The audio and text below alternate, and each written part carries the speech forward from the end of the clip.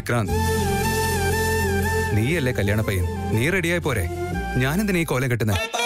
കല്യാണ ചെറുക്കന്റെ ചേട്ടനല്ലടാ നീ. അത് മാത്രമല്ല പയ്യന്റെ ബന്ധുവായിട്ട് നീ മാത്രമല്ലേ വന്നിട്ടുള്ളൂ. അനിയന്റെ കല്യാണത്തിന് സിമ്പിൾ ആയിട്ട് ഏട്ടന് വരാൻ പറ്റുമോ? ഇങ്ങോട്ട് വാ ഏട്ടാ.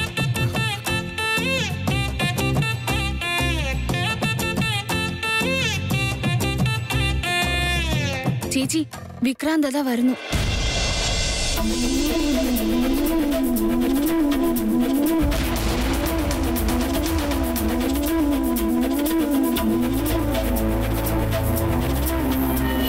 പെണ്ണിന്റെ വീട്ടുകാർക്ക് ഇവരെ പരിചയമുണ്ടോ അമ്മു? ഇവർ വരുന്നുണ്ടെന്ന് അറിഞ്ഞുകൊണ്ടായിരിക്കും എന്നെ ഇങ്ങനെ റെഡിയാക്കിയതല്ലേ?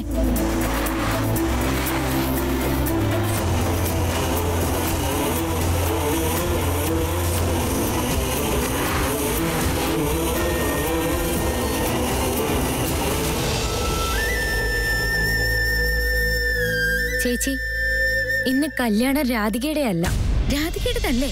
പിന്നെ ആരുടേതാ? കോണ്ട് ബിലീവ് ദിസ് ആരതിയുടെ കാര്യങ്ങളൊന്നും നീ പറഞ്ഞില്ലേ അമൂല്യ? ഇങ്ങോട്ട് നോക്കൂ ആരതി. ഈ ഒരുക്കങ്ങളൊക്കെ നിങ്ങൾക്ക് വേണ്ടിയാ. ഇപ്പൊ നടക്കാൻ പോകുന്നത് നിന്റെ വിക്രാന്തിന്റെ കല്യാണം?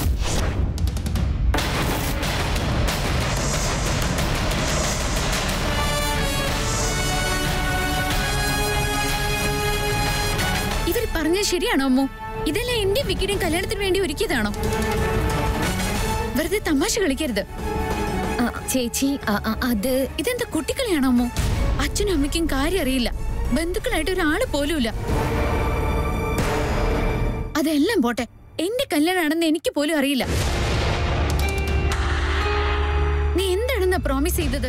വീട്ടുകാരെ കൊണ്ട് സമ്മതിപ്പിച്ച് കല്യാണം നടത്തി തരാന്നല്ലേ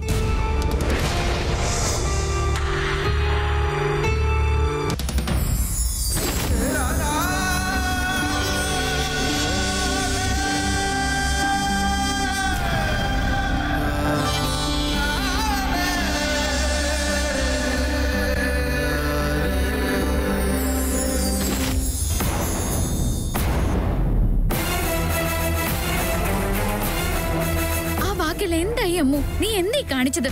അത് സോറി ചേച്ചി. ഞാനും പിന്നെ വേദാന്തും ഇതിനെപ്പറ്റി ഒരുപാട് ഡിസ്കസ് ചെയ്തു. എന്നാ അവരുടെ വീട്ടിലാണെങ്കിലും നമ്മുടെ വീട്ടിലാണെങ്കിലും ഇത് സമ്മതിക്കൊന്നും തോന്നുന്നില്ല. അതുകൊണ്ടാ. അതുകൊണ്ട് നമ്മുടെ വീട്ടിലെ അന്തസ്സെല്ലാം അറിഞ്ഞു വെച്ചിട്ട് എങ്ങനെ ഇങ്ങനെ ഒരു തീരുമാനത്തിലെത്തി?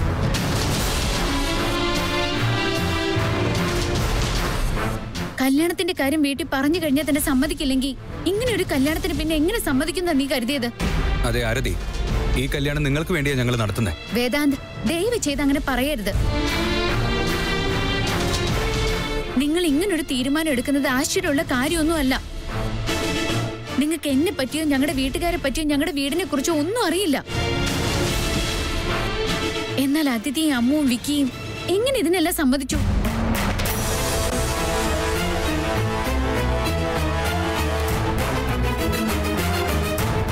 സോറി ചേച്ചി.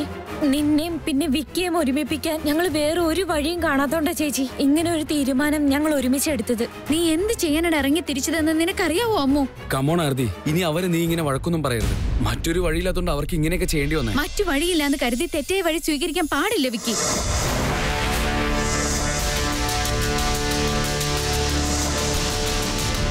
അമ്മു നടന്നേ വീട്ടിൽ പോവാം. ഇതുകൊണ്ടാ പെണ്ണുങ്ങളെ സെന്റിമെന്റൽ ഫൂൾ എന്ന് പറയുന്നത്. ആകെയുള്ളത് ഒരൊറ്റ ജീവിതമാ. അത് സ്വന്തം ഇഷ്ടത്തിന് ജീവിക്കുന്നതിന് പകരം. ചേട്ടാ പ്ലീസ് ഇങ്ങനെയൊന്നും സംസാരിക്കല്ലേ? ഇങ്ങനെ ഓടി വന്ന് കല്യാണം കഴിക്കാൻ ശ്രമിച്ചു എന്നറിഞ്ഞാൽ അച്ഛനമ്മമാർക്ക് അത് സഹിക്കില്ല. പെറ്റവരെ വിഷമിപ്പിച്ചുകൊണ്ട് സ്വന്തം കാര്യം നോക്കി പോകുന്നത് സ്വാർത്ഥതയാണ്. അങ്ങനെ ഒരു സ്വാർത്ഥത കാണിക്കുന്നതിനേക്കാൾ നല്ലത് ഞാൻ സെന്റിമെന്റൽ ഫൂളായിട്ട് ഇരിക്കുന്നത് തന്നെയാ.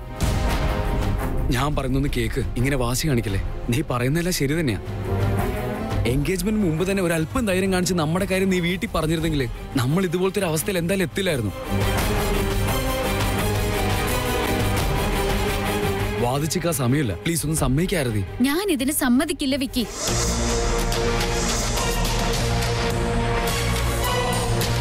ഞാൻ ഇതിനൊന്നും സമ്മതിക്കില്ല. ഇവിടെ എന്ത് നോക്കി നിൽക്കാൻ രണ്ടും? വന്നേ ഇങ്ങോട്ട്. ആരതി നിക്ക്. ആരതി.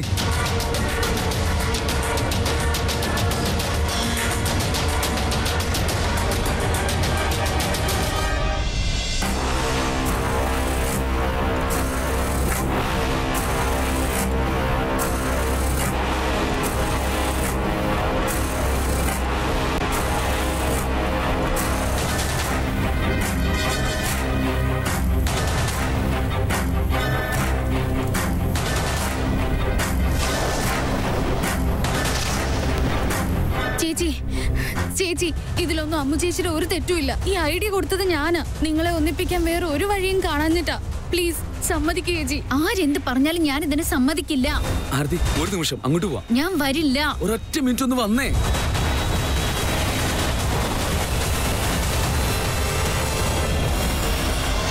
നിങ്ങൾ എന്തേ കാണിക്കുന്നേ? നീ ആരാധിക്കുന്ന ആ ദൈവത്തിന്റെ ഇഷ്ടത്തിനനുസരിച്ച് നമ്മൾ കല്യാണം കഴിക്കുന്നത്. ഇപ്പൊ നിനക്ക് എന്താ പറ്റിയേ? മറ്റാരെക്കാളും നീ വിശ്വസിക്കുന്ന ആ ദൈവത്തെ തന്നെയല്ലേ? അദ്ദേഹത്തിന് സമ്മതം കിട്ടിയാ പിന്നെ നിനക്ക് വേറൊന്നും വേണ്ടല്ലോ. വിക്കി വെറുതെ ഓരോരോ ഭ്രാന്ത് വിളിച്ചു പറയാൻ നിക്കരുത്. ആരതി ഒരു നിമിഷം നിനക്കൊന്നും മിണ്ടാതിരിക്കാൻ പറ്റുമോ തിരുമേനി പൂവ് രണ്ടിലയിലായിട്ട് വെച്ചുകൊണ്ട് വരും. ഒരെണ്ണത്തിൽ ചുവന്ന പൂവും മറ്റൊന്നിൽ മഞ്ഞ പൂവും.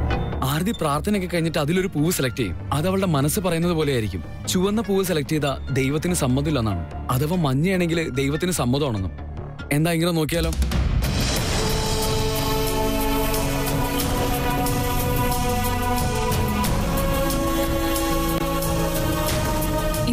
ഐഡിയ എല്ലാം ദൈവത്തിന്റെ ഇച്ഛ പോലെ നടക്കട്ടെ. ഇനി എല്ലാം ദൈവം നോക്കിക്കോളൂ. പ്ലീസ് സമ്മതിക്കുക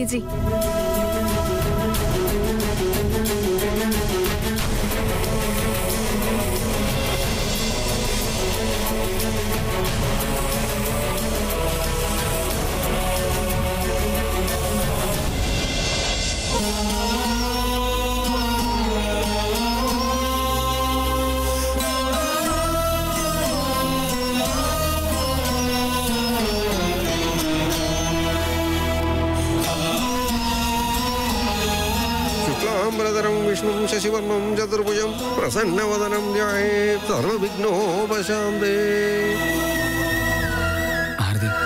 ഈ രണ്ടെണ്ണത്തിൽ ഏതിലും ഒരെണ്ണം സെലക്ട് ചെയ്യും.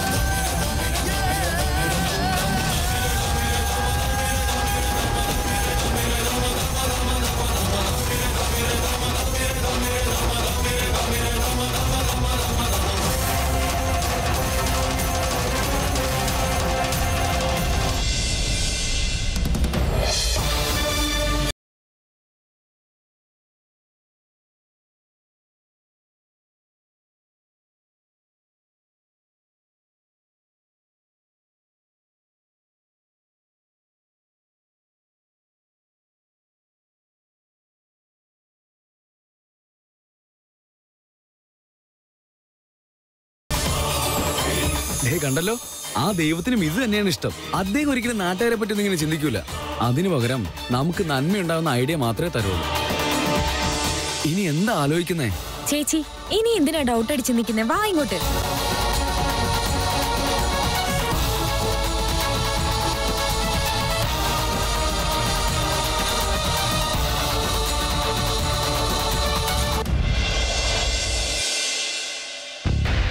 ദൈവം എങ്ങനെ ഇതിനൊക്കെ ഐഡിയ തരുന്നേ? ഇതൊക്കെ സത്യമാണോടാ? തിരുമേനി ഇപ്പൊ കൊണ്ടു കാണിച്ചെന്ന രണ്ട് കെട്ടിനകത്തും മഞ്ഞ പൂവായിരുന്നു. Everything is fair in love marriage എന്റെ പെണ്ണിനെ എങ്ങനെ സമ്മതിപ്പിക്കണമെന്ന് എനിക്കറിയാം.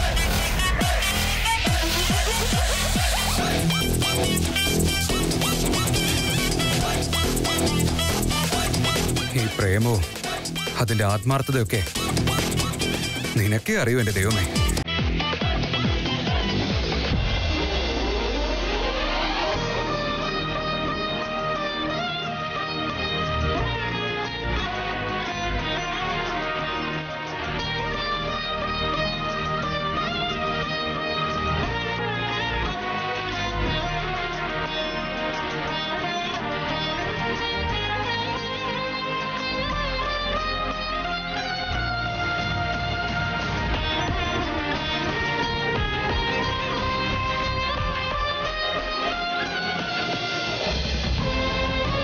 ശുക്ലാംബരധരം വിഷ്ണു ശശിവർണം ചതുർഭുജം പ്രസന്നവദനം ജായേ സർവവിഘ്നോപശാന്തേ.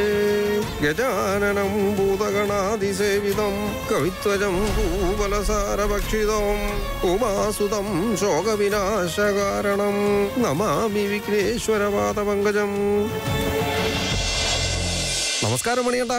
മകളുടെ കല്യാണം നന്നായി നടക്കാൻ വേണ്ടി ഇടയ്ക്കിടയ്ക്ക് ഇവിടെ ഒന്ന് പ്രാർത്ഥിക്കുകയാണല്ലേ നിങ്ങളെ പോലെ നല്ല മനസ്സുള്ളവർക്ക് ദൈവം നല്ലത് തന്നെ വരുത്തൂ. ഒന്നും ഓർത്ത് വിഷമിക്കണ്ട. താങ്കൾ പറഞ്ഞതുപോലെ തന്നെ സംഭവിക്കട്ടെ. നിങ്ങൾ ഇവിടത്തേക്ക് ഒരു സഹായം ചെയ്യണം മണിയണ്ട പറയൂ ഗുരുജി. ഇന്ന് നമ്മുടെ അമ്പലത്തിൽ വെച്ച് ഒരു ചെറിയ കല്യാണം നടക്കണ്ട് വീട്ടുകാരുടെ സമ്മതമില്ലാണ്ട് നടക്കണ കല്യാണം ആയതുകൊണ്ട് നിങ്ങൾ വന്ന് അവരെ ഒന്ന് അനുഗ്രഹിക്കണം. നമുക്കിതൊക്കെ ആവശ്യമുണ്ടോ? നീ ഒന്നും മിണ്ടാതിരിക്കും പ്രവി. ആ ആയിക്കോട്ടെ. പോവാം നമുക്ക്.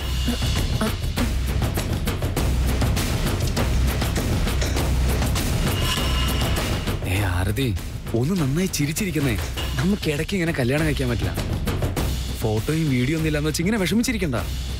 അനിയത്തി കൊച്ചിന്റെ കയ്യിൽ ക്യാമറ ഉണ്ടല്ലോ. എല്ലാം വീഡിയോ എടുക്കാൻ പറയാം. ഇതുപോലൊരു സമയത്ത് നമ്മൾ സന്തോഷിച്ചില്ലെങ്കിൽ പിന്നെ ജീവിതത്തിൽ ഒരിക്കലും നമ്മൾ സന്തോഷിക്കാൻ പോണില്ല. ഒരു മിനിറ്റ്.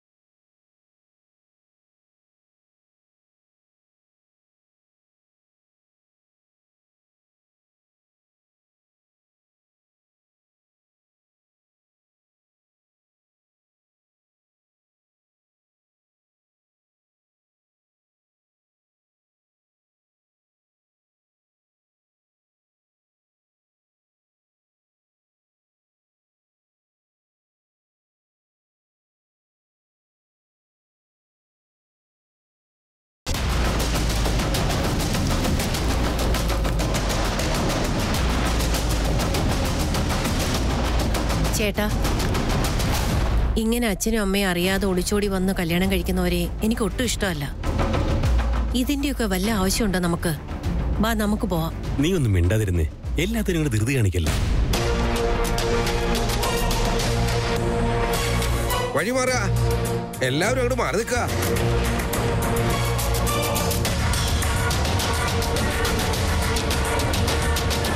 നിനക്ക് എത്ര വയസ്സുണ്ട് മോളെ?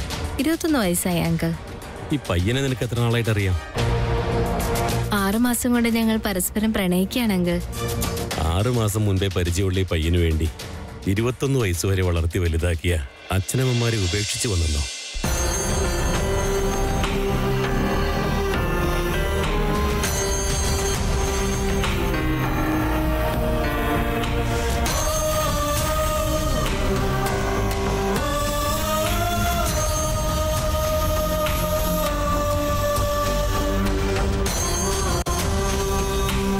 പ്രണയിക്കുന്നതും പ്രണയിക്കുന്നവരെ കല്യാണം കഴിക്കുന്നതും ഒന്നും തെറ്റല്ല.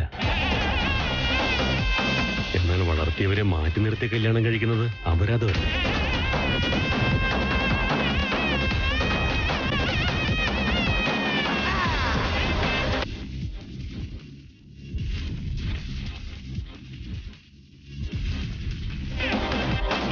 നിങ്ങൾ ഈ തീരുമാനമെടുക്കുന്നതിനൊക്കെ മുമ്പ് ഒരുപാട് ആലോചിച്ചിട്ടുണ്ടാകും അതെനിക്കറിയാം.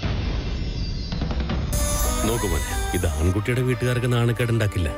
കാരണം നിങ്ങൾ അവിടെ തന്നെയല്ലേ താമസിക്കാൻ പോകുന്നത്. എന്നാ പെണ്ണിന്റെ വീട്ടുകാരും? മരിക്കുന്നത് വരെ അനുഭവിക്കേണ്ടി വരും. ആരോടും പറയാനും പറ്റാതെ ആരോടും സംസാരിക്കാനും പറ്റാതെ നാട്ടുകാരുടെ മുന്നിൽ തലപൊക്കി നടക്കാൻ പറ്റാതെ നരകവേദന അനുഭവിക്കേണ്ടി വരില്ലേ അവർക്ക്? നമ്മുടെ വിശ്വാസത്തെ മറ്റാരെങ്കിലും ചോദ്യം ചെയ്താൽ അത് എളുപ്പത്തിൽ നമുക്ക് എതിർക്കാൻ പറ്റും. എന്നാൽ അത് നമ്മുടെ മക്കൾ തന്നെ നശിപ്പിച്ചാൽ പിന്നെ നമ്മുടെ നിഴലിനെ പോലും വിശ്വസിക്കാൻ പറ്റാത്ത രീതിയിലായി മാറില്ലേ കാര്യങ്ങൾ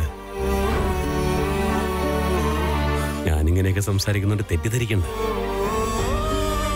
ഞങ്ങൾക്ക് നാല് പെൺമക്കളാ ഉള്ളത്.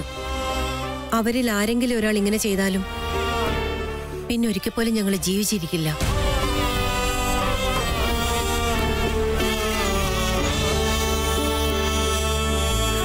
എന്തോ എനിക്ക് നിങ്ങളോട് ഇതെല്ലാം പറയണം തോന്നി പറഞ്ഞു.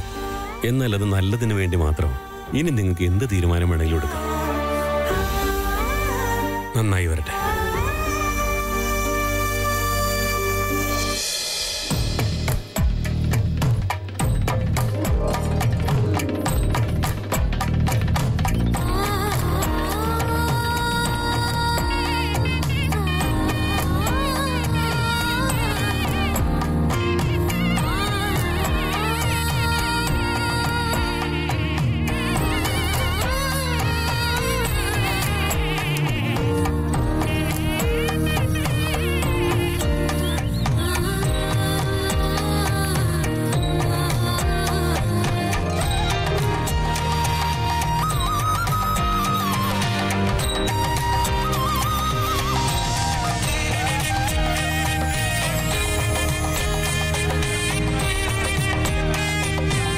കഷ്ടപ്പെട്ടാണെങ്കിലും ഇഷ്ടപ്പെട്ടവളെ കിട്ടിക്കഴിയുമ്പോൾ എനിക്കിപ്പോ നിന്നോട് ഒരു കാര്യം മാത്രമേ പറയാനുള്ളൂ. അതെന്താന്ന് വെച്ചാ നന്ദിയുണ്ട് ദൈവമേ.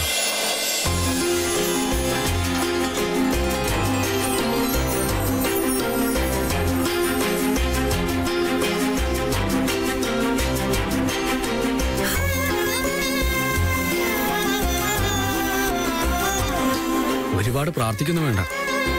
ദൈവത്തിന് ഓർമ്മശക്തി അല്ലേ തന്നെ കുറവാ. നീ ഒരേ സമയം തന്നെ ഒരുപാട് ആപ്ലിക്കേഷൻസും ഒരുപാട് നേർച്ച നേർന്നാൽ പാവത്തിന് മനസ്സിലാവില്ല ഏതൊക്കെ നടത്തി തരണമെന്ന്. ദേ ഇങ്ങനെ പറഞ്ഞ് കൺഫ്യൂസ് ആക്കിയതുകൊണ്ടാണ് പല ആളുകൾക്കും കല്യാണത്തിന് മുമ്പ് തന്നെ കുട്ടികളുണ്ടാവുന്നത്. ശരി ശരി വന്നേ. ഇനി നമുക്ക് ചെയ്യാനായിട്ട് ഒരുപാട് പ്രോഗ്രാം ഉണ്ടെന്ന് പൂജാരി പറഞ്ഞു. വന്നേ. ശുക്ലാംബരധരം വിഷ്ണു ശശിവർണം ചതുർഭുജം പ്രസന്നവദനം ധ്യായേ സർവവിഘ്നോപശാന്തേ. ഗജാനനം ഭൂതഗണാതിസേവിതം കവിത്വജം ഭൂബലസാരഭക്ഷിതം ഉമാസുതം ശോകവിനാശകാരണം നമാമി വിഘ്നേശ്വരപാദപങ്കജം. ഓ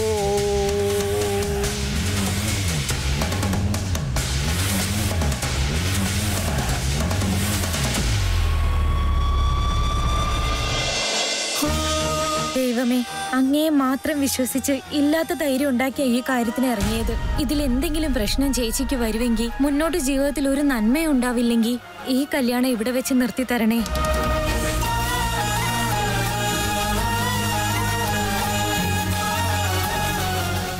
ഈ പെണ്ണുങ്ങൾ എല്ലാവരും ഒരേപോലെയാ.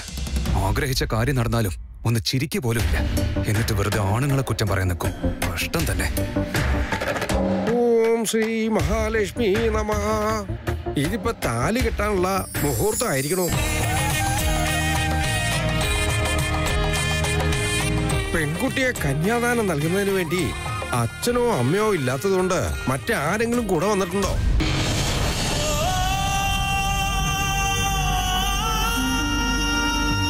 ആരുമില്ല. ഇല്ലെങ്കിൽ പോട്ടെ വിഷമിക്കണ്ട.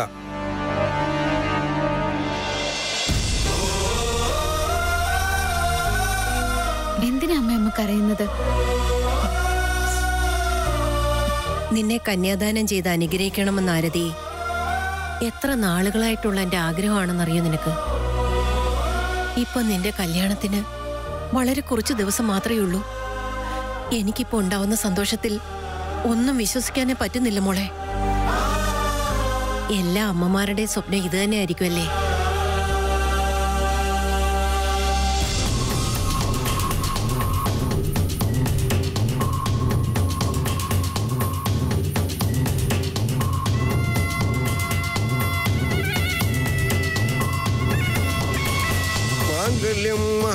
മഹാലക്ഷ്മി നമ. ഇനി താലി കെട്ടിക്കോളാ.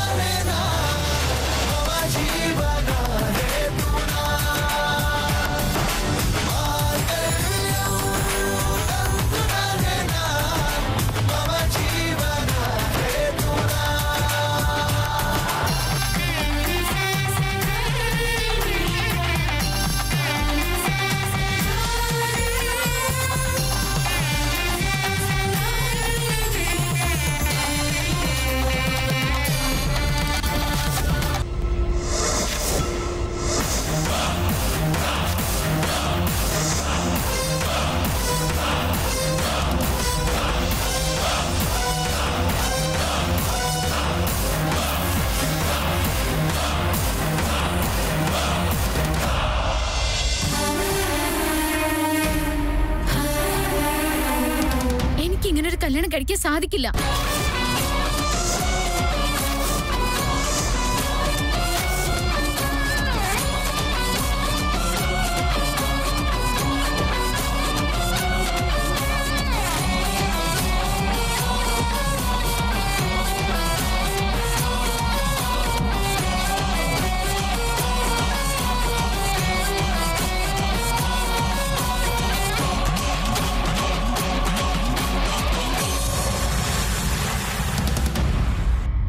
ചേട്ടന്റെ സ്ഥാനത്ത് കണ്ടുകൊണ്ട് തന്നെ ഞാൻ നിങ്ങളോട് പറയുകയാണ്.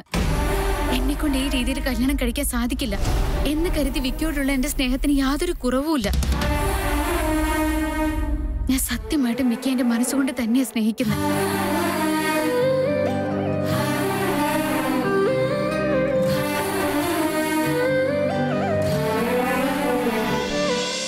ചെയ്ത് എല്ലാവരും എന്നോട് ക്ഷമിക്കണം. അപ്പൊ ഞങ്ങൾ ഈ ചെയ്തതിനൊന്നും ഒരു വിലയില്ലേ അരുതി പെട്ടെന്ന് എന്തു പറ്റി നിനക്ക്? ഞങ്ങളെ രണ്ടുപേരെയും ഒന്നിപ്പിക്കാനായിട്ടാണ് നിങ്ങൾ എല്ലാവരും ചേർന്ന് ഇത്രയേറെ കഷ്ടപ്പെട്ടതെന്ന് എനിക്ക് നന്നായിട്ട് അറിയാം ഇതിന് വിലയില്ല എന്ന് പറയുന്നതിനേക്കാൾ ഞങ്ങളെ വളർത്തിയത് ഇങ്ങനെയല്ലെന്ന് പറയുന്നതാ.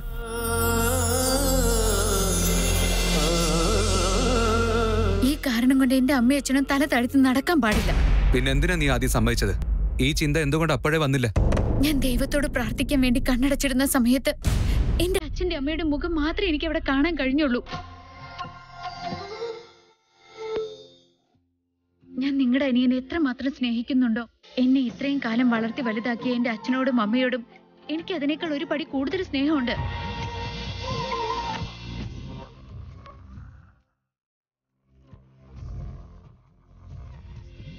ഞാൻ ഇങ്ങനെ ചെയ്തു എന്നറിഞ്ഞ അവർക്കൊരിക്കലും ഇത് സഹിക്കാനാവില്ല.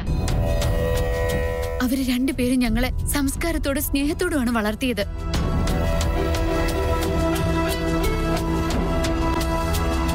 എന്നെ കൊണ്ട് അവരുടെ വിശ്വാസം നശിപ്പിക്കാൻ കഴിയില്ല. അപ്പൊ എല്ലാം ഇവിടം കൊണ്ട് തീർന്നു ആരതി? നിങ്ങൾ ഗൗതമിനെ പോലെ ഇതിന് സമ്മതിപ്പിച്ചു എന്നുള്ളപ്പോ മുന്നോട്ട് നല്ല രീതിയിൽ കല്യാണം നടക്കാൻ ആ ദൈവം ഒരു വഴി കാണിച്ചു തരുമെന്ന് വിശ്വസിച്ചൂടെ? എന്നാൽ ഈ രീതിയിൽ ഒളിച്ചും പാത്തും കല്യാണം കഴിക്കുന്നത് എന്നെ കൊണ്ട് പറ്റുന്ന കാര്യമല്ല. നിങ്ങൾക്ക് കഴിയുമെങ്കിൽ ദയവ് ചെയ്തതിനോട് ക്ഷമിക്കൂ.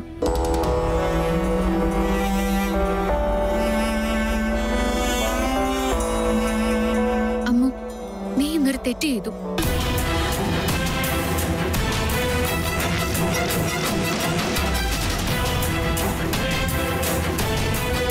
എന്റെ നല്ലതിന് വേണ്ടി മാത്രമേ നീ ഇതൊക്കെ ചെയ്തെന്ന് എനിക്കറിയാം. എന്ന ശരിയായ വഴി അതല്ല അമ്മു. ഒരു തവണ കൂടി നീ നിന്നോട് തന്നെ ചോദിക്കുകയാണെങ്കിൽ എല്ലാ കാര്യങ്ങളും നിനക്ക് തന്നെ മനസ്സിലാവും.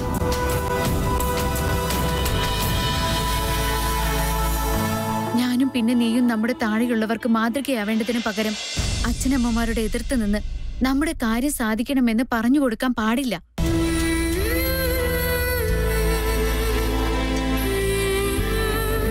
വിക്കി ഞാനൊന്ന് പറയട്ടെ? എന്റെ ഇഷ്ടത്തിന് വേണ്ടി നിങ്ങൾ ഏതുവരെ പോകും എന്തൊക്കെ ചെയ്യുന്ന എനിക്ക് കൃത്യമായിട്ട് അറിയാം എനിക്ക് വേണ്ടി മരിക്കാൻ ശ്രമിച്ച് തിരികെ വന്നതാണ് നിങ്ങൾ. നിങ്ങളില്ലാതെ ജീവിക്കാൻ എനിക്ക് ആവില്ല. കരുതി എല്ലാവരെയും ചതിച്ച് ഇങ്ങനൊരു കല്യാണത്തിന് എനിക്ക് കഴിയില്ല. അങ്ങനെ ചെയ്ത ഞാൻ അവരെ ചതിച്ചു എന്ന ചിന്ത എന്റെ മരണം വരെ കൂടെയുണ്ടാവും. അങ്ങനെ ഒരു തെറ്റും പേറി എന്നെ കൊണ്ട് ഒരിക്കലും ജീവിക്കാൻ കഴിയില്ല വിക്കി. അതുകൊണ്ട് ഞാൻ ഇങ്ങനെയൊക്കെ പറയുന്നത്. നമ്മുടെ കല്യാണം ഈ രീതിയിൽ നടക്കാൻ പാടില്ല. നമ്മുടെ കല്യാണത്തിന് സമ്മതത്തിനൊപ്പം എല്ലാവരുടെയും ആശീർവാദം കൂടി വേണം.